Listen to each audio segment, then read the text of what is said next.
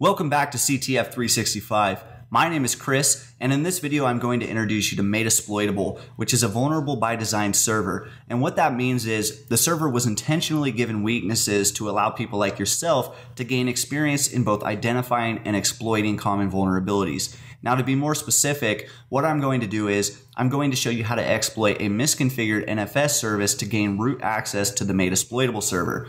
Before we begin, I'd like to explain what NFS is and what it's used for. NFS stands for Network File System and it's a client server system that allows clients to access shared files over a network. It works by allowing the client to mount the shared directory on their own system and then access that directory as if it were stored locally. And what we're going to do with this is we're going to access that shared file system and then we're going to add our private SSH key to the authorized keys file, which as a result will allow us to access the Metasploitable server via SSH. And at the end of this tutorial, I'll discuss some of the implications that this vulnerability has, and I'll highlight some of the ways that this type of attack can be prevented. So let's go ahead and get started. In order to access the Made Exploitable server, we need to be connected to the CTF 365 VPN. So if you haven't already done that, go ahead and take a moment to do it now. And if you don't know how to set up your VPN connection, I've created two OS specific tutorials that will show you, and I'll add the links to those videos in the description below. Once we've connected to the CTF 365 VPN, we need to open a terminal. And what we're going to do is we're going to scan the Metasploitable server with Nmap to identify which ports are open and which services are running.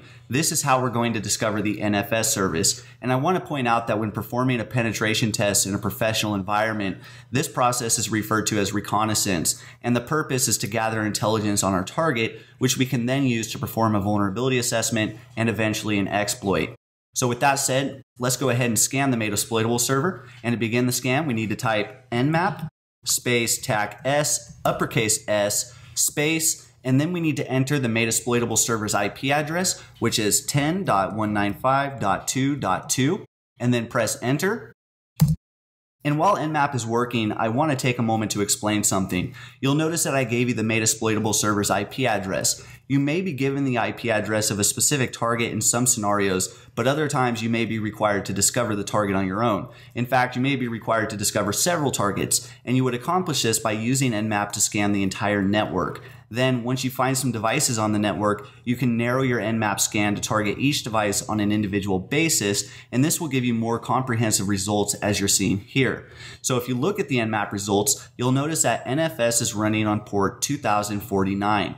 What we're going to do now is we're going to take a closer look at the NFS service to see what's going on. So let's type rpc info space tac p space, and then we're going to enter the made exploitable server's IP address again. It's 10.195.2.2, and then press enter. And you should see the following list of daemons and services. I don't have time to explain the function of each one, but I will tell you this NFS is available and potentially exploitable.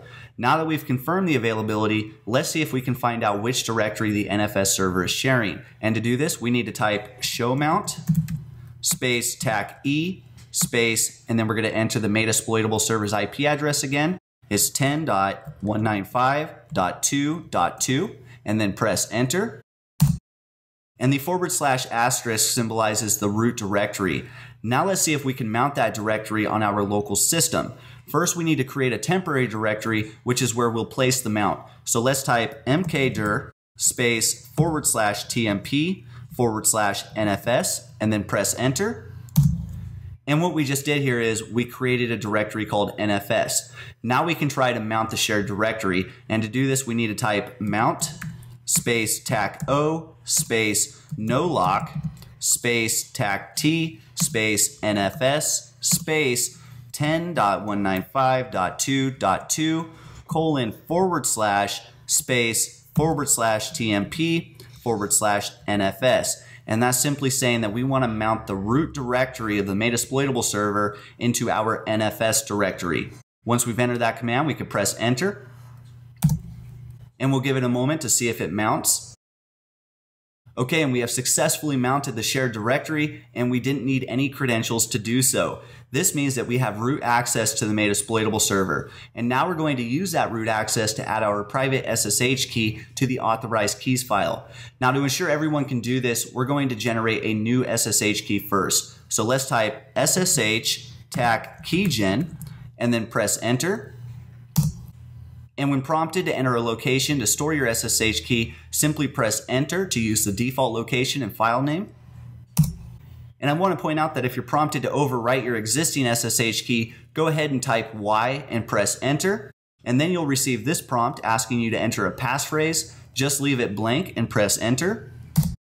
And then you'll be prompted to confirm your passphrase. Again, leave it blank and press enter. And now we're ready to place our SSH key in the Metasploitable server's authorized keys file.